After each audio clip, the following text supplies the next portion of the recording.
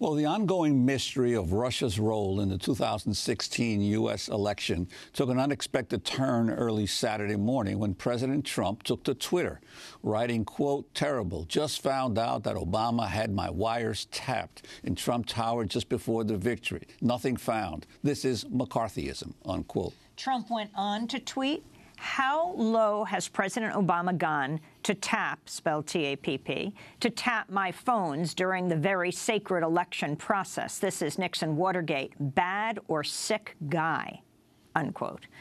President Trump offered no evidence, but within 24 hours he called on lawmakers to probe Obama's actions. On Sunday morning, Trump spokesperson Sarah Huckabee Sanders defended the remarks to host Martha Raddatz on ABC's This Week.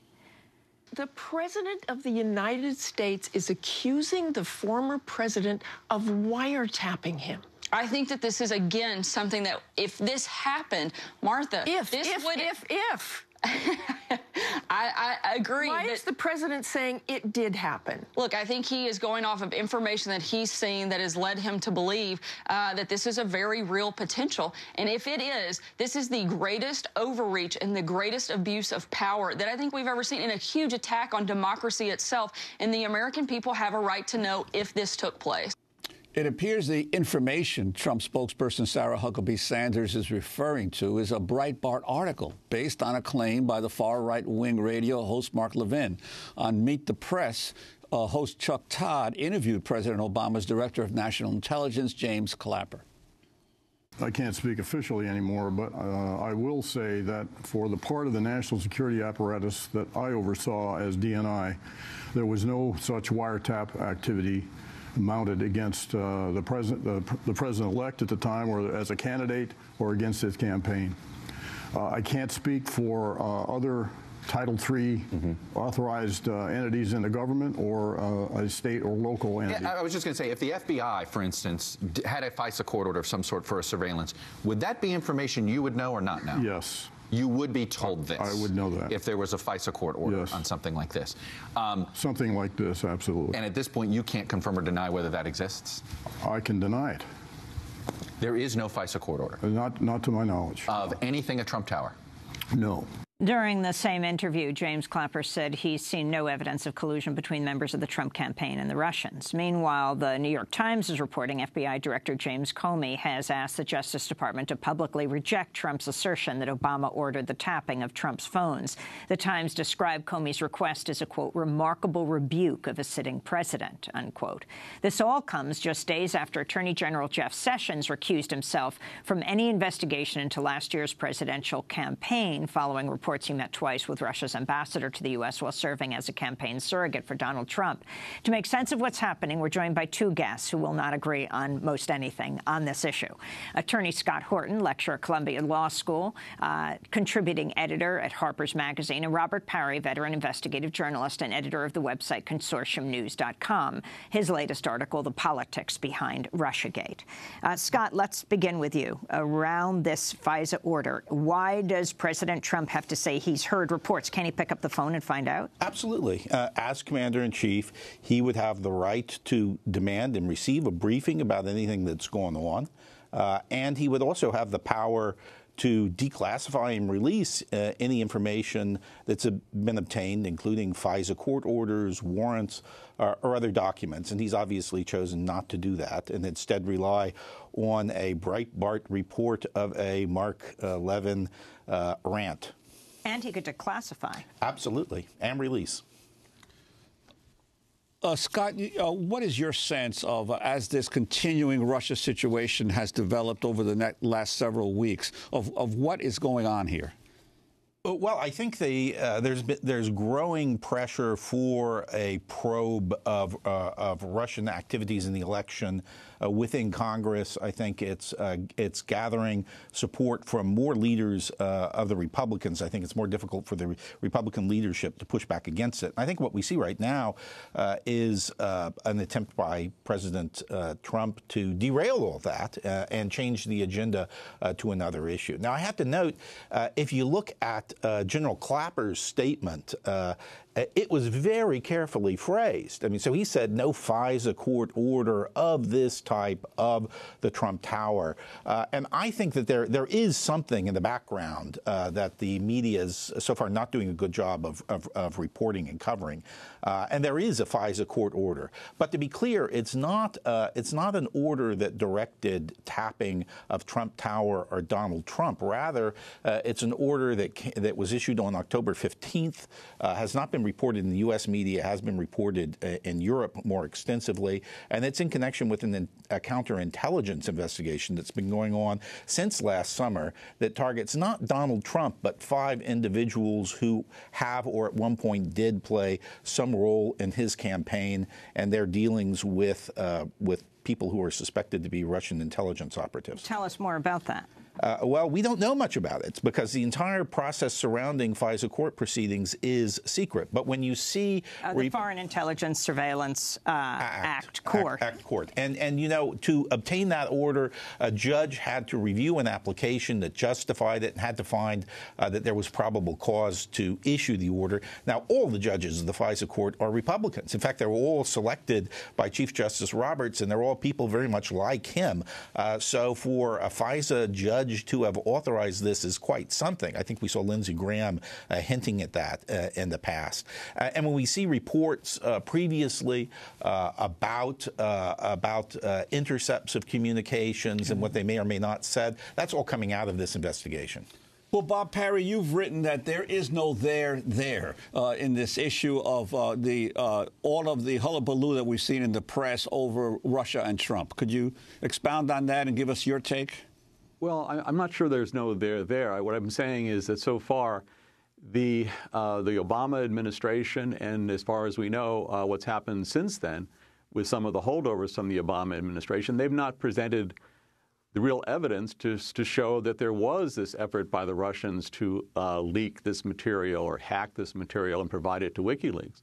WikiLeaks has flatly denied that they received this information from the Russians. They They've indicated there were apparently two American insiders who they believe um, were the, would, would have been the sources of this information. So what you've got is a lot of ifs going on, not just the ifs that uh, that uh, President President uh, uh Trump has uh, put out through his tweets, but also now uh, there's also a lot of ifs about what happened initially. So we have a we have a situation where Washington has kind of gone nuts where there hasn't been um, the kind of evidence presented on anyone's part that convinces me or a lot of other people that have looked at this, including former people from the National uh, Security Agency, people like William Binney. So you have so you have problems here where the evidence is not supporting, at least to this to this point, uh, a lot of these allegations. We've had a lot of suspicions and a lot of uh, a lot of smoke, but so far not much in the way of fire. And you've also raised that uh, Russia has been is increasingly being made the boogeyman, uh, not only by those on the right, but many on the left who are who were uh, either supporters of President Obama or were progressives who ended up supporting Hillary Clinton. Uh, that you feel that there's an unnecessary heating up of a new Cold War. Well, there's no question we're now into, into a new Cold War, and we're also seeing kind of a new McCarthyism. Uh, what you've seen is this a very hostile approach that the United States has taken toward Russia, going back really to the Ukraine crisis, uh, and it has been escalating. And the Russians have, have responded somewhat in kind. Uh, so you've had you had a, a much more cooperative relationship between President Obama and President Putin that preceded the 2014 Ukraine crisis. They worked together on the Syrian crisis. Uh, they, uh, it was Putin who got uh, Assad to give up his chemical weapons. They worked together on Iran, getting Iran to, to constrain its nuclear program. Uh, but then, with the, with the crisis in Ukraine, which was not simply a, a case of, of uh, it was a case in, that involved some American input to try to create that, that as, a, as a, a turning point in how this whole relationship developed.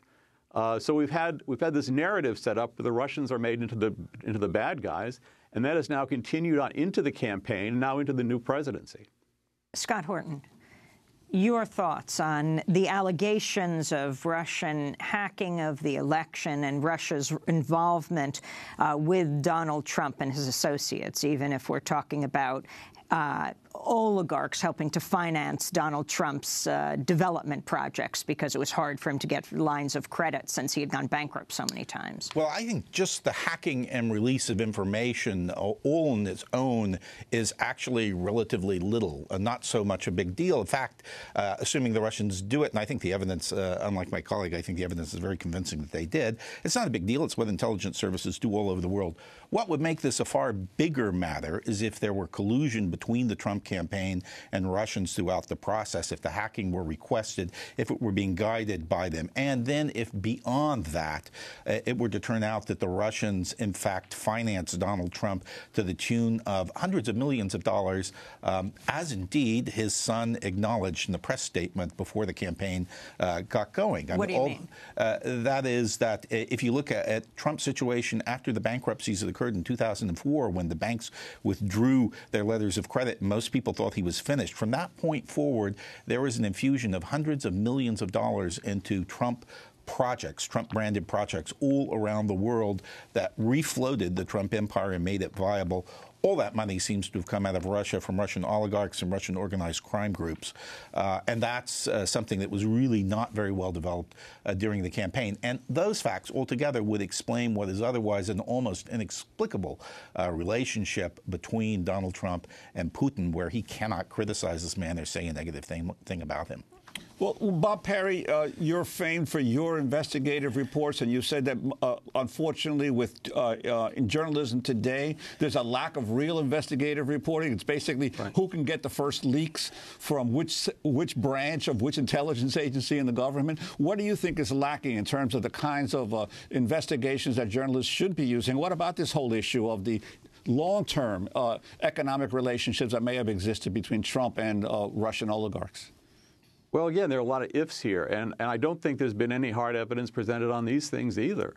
Uh, there was this reference from the son, who was apparently talking about some of these Russian oligarchs buying up Trump um, condos and other kind of properties. But that doesn't mean it was coming from the Russian government. This idea that the, everything in Russia is controlled at the top is not really true. It's a large country like ours is, and, and there are many different factors and, and factions that operate. So to pretend that, that we all know this is, is, is somewhat misleading. And there's a huge amount of, of, of, the, of this whole question of if. Uh, we're at a very dangerous point here where there's a real possibility of a crisis between the United States and Russia. And instead of anything that's been very serious or hard in terms of evidence, we've been, we've been dealing with suppositions. Uh, there's, and, and as, as Scott says, even if the Russians did somehow get this information to WikiLeaks, the information itself was all accurate. It dealt with things that were relatively significant in terms of what we would know about um, how, the, how the Clinton campaign was operating, but it was not decisive in any way to the election. Uh, Hillary Clinton herself blamed uh, James Comey for his reopening of her investigation into her, um, into her um, email situation as the principal cause for her defeat. It wasn't the Russians. Scott Horton. Well, I think any election in which the man who was second past the post wins and is installed in president and a shift of 40,000 votes would have dramatically uh, affected the outcome. Uh, any of a number of hundreds of things could have caused a change in the election. I think what we've seen here, and I agree with uh, with Bob Parry on this, is a really dramatic failure of inquiry uh, by the press during the election, failure to develop uh, a number of really important issues relating to Trump and the Trump campaign. Uh, but there's no reason not to fully explore and develop them right now. And I think, in the end, if everything goes in the direction I think it's going to go, this would be the end of the Trump presidency. And you've also said, uh, haven't you, that you basically you would agree with Bob Parry on the general uh, outlines of the criticism of the U.S. policy toward uh, toward Russia. That there's that there's been much more aggressive posture by the United States in interfering in in uh, in affairs uh, close to the Russian borders. Yes, I agree. So I mean, I think the U.S. made grave mistakes in the way it expanded NATO into the region and the way it interacted with uh, Georgia, for instance, before the war in 2008. but that's another another set of questions. Uh, and I think the, the confrontation we're looking at from Russia today is not the old Cold War kind of confrontation with nuclear weapons and armored divisions. It's, uh, it is a, a, very aggressive policy of intervention and engagement in Western politics and Western elections. Not just in the United States. It's going on today in France and Italy and Germany, uh, and following the same uh, shadow, the same profile in almost every single country. We're going to continue this conversation and then post online at democracynow.org. Scott Horton teaches at Columbia Law School, writes for Harper's Magazine, and Bob Parry writes for Consortium News, and we'll link to his piece there. That does it for our show. Democracy Now! is produced by Mike Burke, Nermeen Shaikh, Carla Wills, Laura Gottesdiener, Dina Guzder, Sam Alcoff, John Hamilton, Robby Karran, Hany Massoud, Charina Nadura, Andre Lewis, Mike Di Filippo, Miguel Nogueira, and Paul Huckabee, our engineers. Special thanks to Becca Staley, Julie Crosby, Hugh Grant, David Prude, Ariel Boone, Vesta Goodarz, Anthony Manzo. I'm Amy Goodman with Juan Gonzalez for another edition of Democracy Now!, democracynow.org. Also, check out our website. We have a full-time social media fellowship. Check out the details at democracynow.org. Thanks for joining us.